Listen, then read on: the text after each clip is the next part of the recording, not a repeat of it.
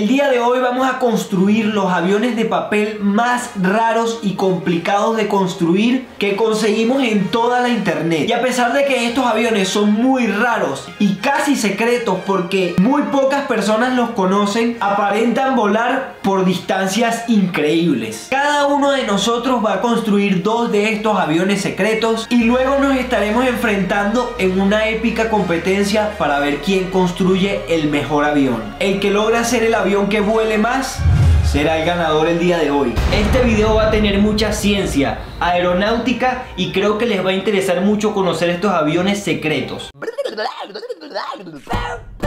Cuando Bruno y yo estábamos pequeños teníamos una tradición que nunca se nos ha olvidado. Nos quedábamos esperando hasta la una de la mañana a que todo el mundo en la casa se durmiera y apenas fuera esa hora nos poníamos a orgar por toda la casa buscando hojas de papel usadas o viejas que pudiéramos utilizar. Y literalmente nos quedábamos desde la una hasta las 5 de la mañana construyendo avioncitos de papel y lanzándolos por la ventana. Al final del día quedaba toda la cuadra en la que nosotros vivíamos llena de avioncitos de papel y la verdad no sé al final quién se encargaba de limpiar eso, pero pobre de esa persona. No estuvo bien, pero estuvo divertido en su momento. A lo que queremos llegar con todo esto es que este video para nosotros tiene un significado mucho más grande que solo armar avioncitos de papel y ya. Siento que este video nos va a hacer transportarnos un poco hacia esos días en los que éramos felices y no lo sabíamos. Y esto también es un recordatorio para nosotros de que la felicidad está en las pequeñas cosas. Pero bueno, ya basta de cursilería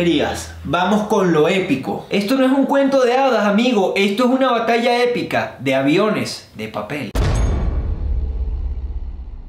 Comenzamos con la primera ronda y para esta conseguí un avión muy peculiar. Y yo estoy haciendo live en TikTok, o sea que si Bruno lo arruina va a quedar en ridículo frente a mucha gente. ¿Pero por qué me pones tanta presión? Me costó conseguir las instrucciones de cómo hacerlo, pero lo logré. Es que la primera vez que yo vi este diseño me enamoré. Es precioso. En esta competencia yo la tengo muy clara. Voy a seguir una línea estratégica. Voy a utilizar la fuerza animal a mi favor en esta competencia. Donde viste un lobo sangriento echado todo el rato y con la barriga siempre llena lo que hace un lobo ser un lobo es la hambre y la necesidad. ¿Cómo el humano aprendió a volar y a crear aviones? Fue aquí donde un joven fabricante de bicicletas hizo realidad un sueño largamente perseguido. Volar. Viendo pájaros y animales volar. Así que yo voy a tratar de replicar con papel lo que serían animales. Y así, señoras y señores, fue como construí el águila.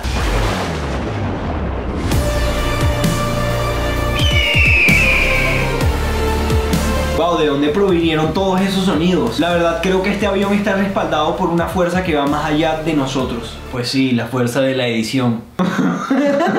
Debo admitir que ese avión de Bruno sí está muy sensual. La verdad quedó muy bonito. Pero aquí lo más importante no es que quede bonito. Aquí lo importante es que vuele muy bien. Gracias por lo de sensual y también gracias por lo de avión. En esta ronda yo voy a utilizar a mi favor la ciencia. El problema con la mayoría de aviones convencionales es que son demasiado pesados. Y además tienen muy pocos elementos que los ayudan a utilizar el viento a su favor. Ver ese tipo de aviones me molesta mucho, me incomoda demasiado. Si te equivocas, así sea por una pequeñita cosa, puedes arruinar toda la aerodinámica del avión y hacer que vuele terrible. Así que hoy, gracias a la ciencia y salirnos de la caja, logramos entrar al tubo.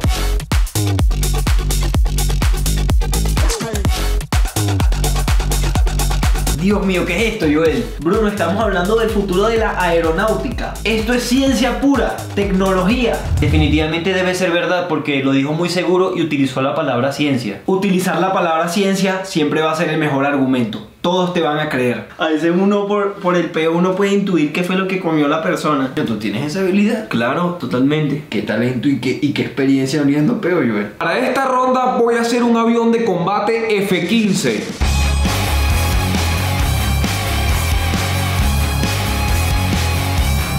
Al parecer para esta ronda Javier decidió construir un avión de guerra. Dijimos que era una competencia de aviones y Javier se lo tomó muy en serio. Está tratando de replicar un avión de la vida real. Debo admitir que Javier está haciendo demasiados dobleces. Se lo está trabajando muchísimo. Y como dice el dicho, si haces muchos dobleces es porque tu avión está demasiado bueno.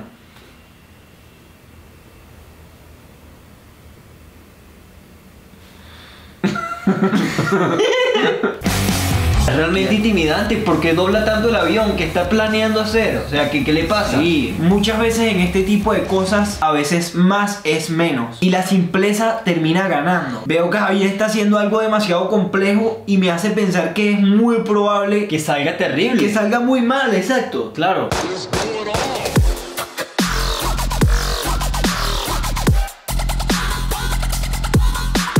Wow, me duele admitirlo. No quería decir esto, me cuesta admitirlo, pero el avión de Javier está precioso.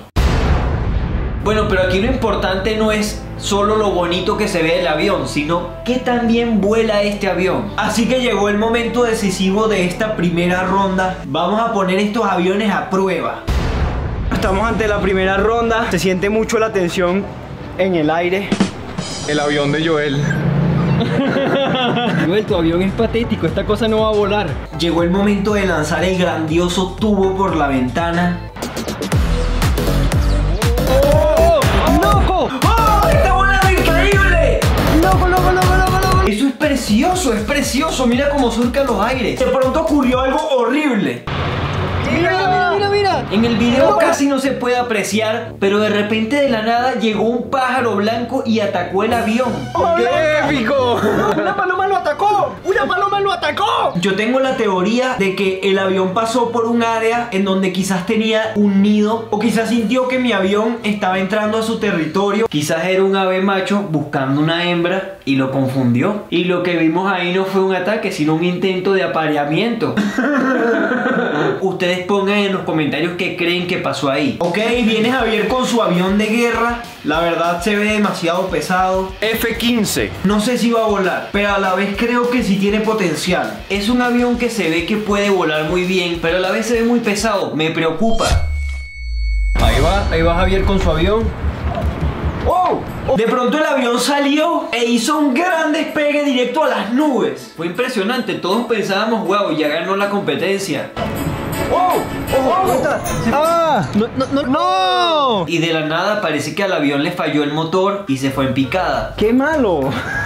Creo que se quedó dormido el piloto. ¡Mi avión! Fue terrible, fue muy vergonzoso, la verdad. Así que por favor, nadie se burle.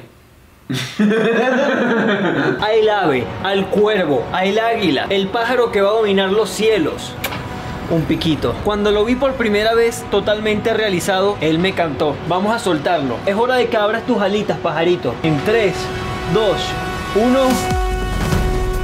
Comenzó a hacer un montón de piruetas. Parecía como una especie de danza aérea. Fue precioso. Véanlo, véanlo, qué elegancia, qué elegancia. Loco, ¿vieron qué belleza de vuelo? Estaba haciendo piruetas, eso debe sumar muchísimos puntos para mí. Pero también hay que decir que cayó en picada. Tú no puedes hablar, tu avión fue una pena, así que no puedes opinar. Lo sé, tengo que esforzarme más, pero sigo con la fuerza de la naturaleza de mi lado. Para este tipo de cosas hay que ser súper preciso. Esta vez vamos por algo un poco más sigiloso. Este avión que estoy construyendo ahora mismo está totalmente inspirado en un murciélago. Y es que este avión aletea como un murciélago. Es súper sorprendente porque yo jamás en mi vida había visto un avión de papel aletear. Pareciera como si estuviese vivo. Todos sabemos que los murciélagos son muy elegantes, son animales peligrosos. Todo el mundo les tiene miedo. Además pueden volar por la oscuridad de la noche sin ni siquiera ver. Utilizan un sistema que se llama ecolocalización. Emiten un sonido. El sonido rebota con todas las cosas que están en el ambiente, regresa a sus oídos y con esta información crean un mapa en su cerebro del lugar en el que están. Espero que en esta ronda se cuiden mucho porque vengo con todo. En la primera ronda utilicé la ciencia a mi favor. Para esta segunda ronda voy a hacer las cosas un poco diferentes. Me voy a ir por algo un poco más salvaje, más peligroso. Así que comencé a crear este avión, pero creo que me sobrepasé un poco. Creo que al escoger crear este prototipo de avión me puse un reto demasiado grande. Porque este es un avión que para crearlo tiene tantos dobleces que es súper difícil hacerlo. Literalmente estuve más de una hora haciendo dobleces, equivocándome, corrigiendo los errores y definitivamente esta tarea requiere demasiada paciencia. Estuve a punto de arrancarme los pelos, pero al final todo esto valió la pena. Porque gracias a esto creé el dragón.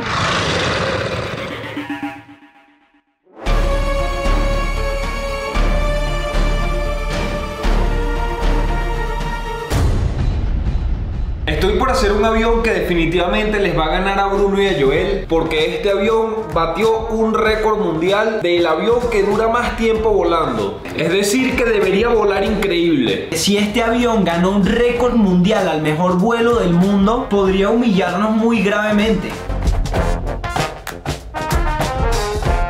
Pero bueno, ahora sí llegó el momento de la verdad. Vamos a poner los aviones a prueba a ver cuál es el mejor. Tenemos al chico malo de este video, el murciélago. Este avión es muy muy especial porque no solamente es muy bueno para volar, sino que aletea como un verdadero murciélago. Y si no me creen, van a verlo ahora mismo. Así que bueno, vamos a lanzarlo para que vean a este chico malo en acción. Llegó el momento de probar mi avión.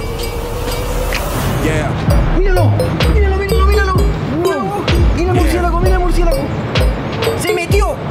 se metió en la casa del vecino! De repente el murciélago se metió en casa del vecino. Y la verdad es que nos da muchísima vergüenza porque este vecino es súper amargado. Mira esto. Qué asco, Joel. Nosotros creemos que este vecino es muy amargado porque él baja todos los días a pasear a su perro con una cara de que odia al mundo y que está muy molesto. Y su perro tiene la misma cara. Qué raro, o sea, ¿qué pensará el vecino si de repente entra un murciélago de papel por su ventana? ¿Será que quiere un mango? ¿Qué? Los murciélagos comen mango. Javier, chiste. Javier hizo un chiste raro. Javier, nadie entiende tu chiste. Llegó el turno de que Javier ponga su superavión a prueba. El avión que ganó el récord mundial. Si ganó un récord seguramente es porque vuela increíble. Por algo tiene un récord, así que vamos a poner esto a prueba. El avión de pronto comenzó a volar increíble. Salió volando hacia arriba. Todo el mundo dijo como wow, ya nos partió la madre a todos aquí. Se fue hacia arriba. Mira, mira, mira, mira, mira. Perdimos el avión de vista y tuvimos que ir a buscarlo hacia la otra ventana. Aterrizó aquí. ¿Cómo es posible que lances el avión por la ventana de allá y termine estrellándose en el mismo lugar del primer avión? El avión le dio la vuelta al edificio y se estrelló en el mismo lugar. ¿Cómo? Lo lanzaste por la ventana de allá y cómo terminó en el mismo lugar que tu otro avión.